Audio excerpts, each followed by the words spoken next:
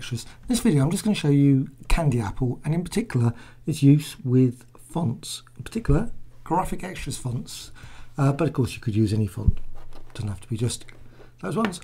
Right, first thing to do, just go over to the drawer option and you'll see a little uh, key there. Now it's text. Right, okay, so just going to drag that out. And first thing to do, I'm just going to enter some characters, or just one character in fact and it's going to be H but obviously I don't want that one so I just want the font over here. And I'm just going to select the insect font. And, and of course you could you can resize it so I'm just going to resize that. Now there's a butterfly design there's lots of other designs with insects like bugs and centipedes and spiders and those sorts of things.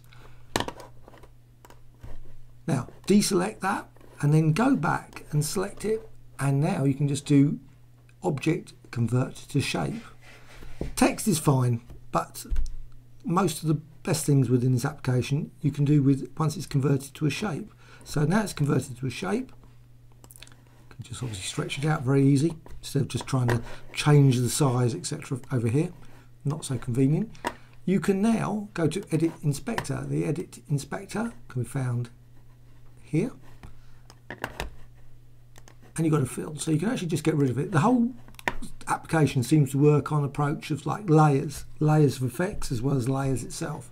So you can actually just bring that back go down here and there's various options. There's a, a pattern fill zigzag fill and a few other ones like stroke rough stroke quite nice little effects. So I'm just going to choose firstly a zigzag fill now, by default, the effect is not on, which personally I would prefer it to be on always as default, but, but I'm just going to quickly add that on. So there's the actual zigzag design, and you can modify it. Now, not all shapes work well with the zigzag. If you've got a very complicated shape, you can get a really messy, complicated design, but you can actually, obviously it's just a fairly nice design. You can actually get some nice, interesting designs with this zigzag option. And of course you can do zigzag strokes as well. You don't have to, so you over the top of that. So I'll just quickly show you that. Just go over here, zigzag stroke.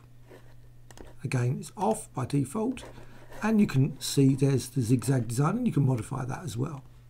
Which, and you obviously can add, so it's very much like the appearance palette to a degree in Illustrator. Right, next thing to do, I'm just going to quickly show you the pattern fill. It's a pattern fill option. There's also a hatch fill option. And you've got various spacing. Now, this, you can enter file. So you just select file. So now I'm just going to go to patterns here. Um, these ones are Christmas designs. These are from Graphicxtras, but you can use obviously any other PNG files. I'm not certain what other formats are accepted, but certainly PNG is accepted as a format, so you can add that pattern there. Again, by default it's off, so just actually select that in. You can see the, you can change the angle, scale it, spacing you can modify as well. Don't go too far. If you go too far, it seems to slow down considerably. And you can move, move it around. Okay, so that's a, a quick run through some of the features of this interesting graphics application which you can find on I believe the Apple store as well as probably on the Candy Apple website. Obviously you could do a search on Google to find that site.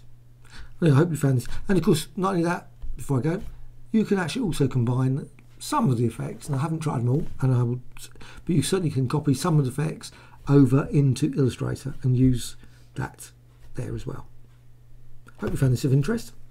Thank you much.